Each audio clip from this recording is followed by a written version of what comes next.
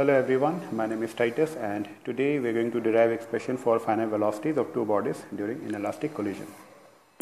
Okay, so to derive the expression first let us draw the diagram. So let us consider two bodies of masses m1 and mass m2. They are moving the initial velocities u1 and u2 where u1 is greater than u2. So this is before collision.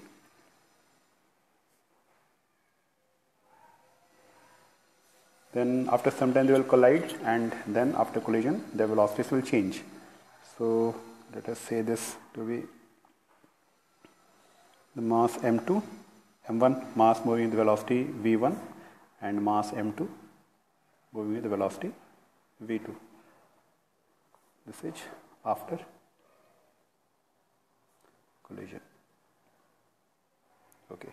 So now let us derive the expression. So from laws of conservation of momentum we have.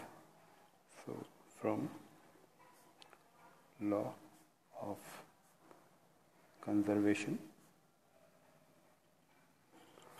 of momentum we have momentum before collision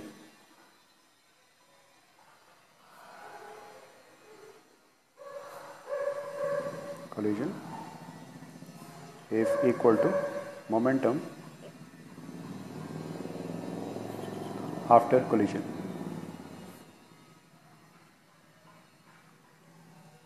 So before collision the masses are with the velocity u1 and u2. So we have m1 u1 plus m2 u2 is equal to m1 v1 plus m2 v2 or we can write m1 into u1 minus v1 is equal to m2 into v2 minus u2.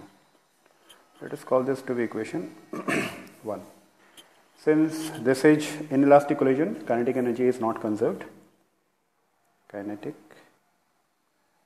energy is not conserved. So here we will take into consideration the coefficient of restitution, uh, which we have divide, which we have described in the previous tutorial as uh, E is equal to minus V2 minus V1 divided by u2 minus u1. This is the ratio of final relative velocity divided by the initial relative velocity. So from this we can simplify and we can write E into u2 minus E into u1 is equal to v1 minus v2 or we have v1 is equal to E u2 minus E u1 plus v2. Putting this value in equation 1, this, this equation, so putting this value in equation 1, we get m1 into u1 minus e into u2 plus e into u1 minus v2 is equal to m2 into v2 minus u2. Okay. Or simplifying further we get m1 u1 minus m1 into e u2 plus m1 into E u1 minus m1 v2 is equal to m2 v2 minus m2 u2.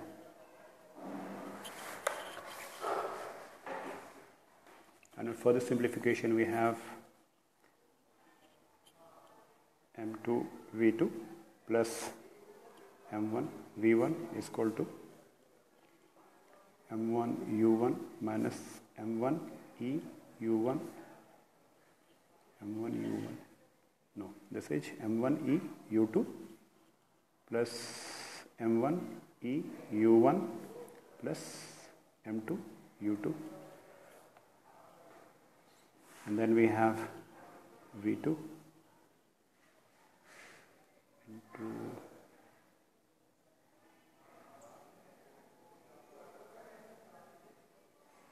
sorry this will be m1 plus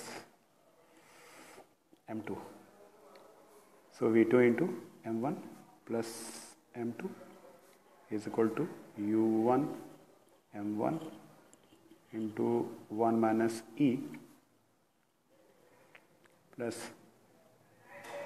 u2 into m2 minus e times m1 or we have v2 is equal to u1 m1 into 1 minus e divided by m1 plus m2 plus u2 into m2 minus e m1 divided by m1 plus m2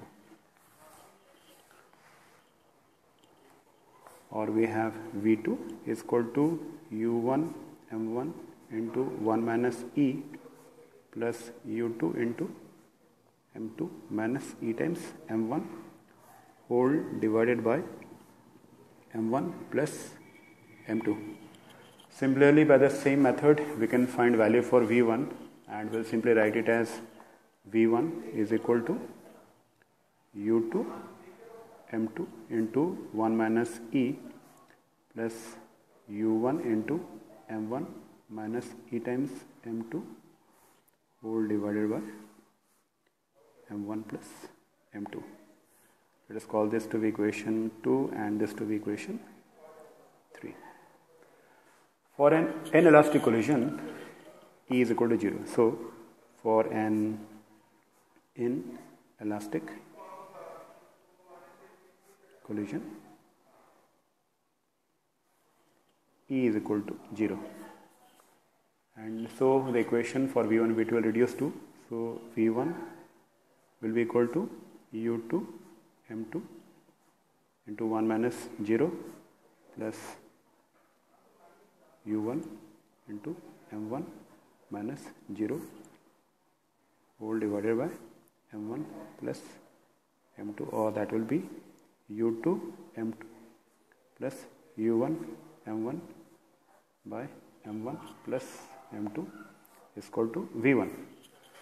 Similarly, we will get the value for V2 is equal to U1 M1 plus U2 M2 divided by M1 plus M2. We see that both the expression that is V1 is equal to V2. So from this we conclude that uh, the final velocity of bodies after? Collision?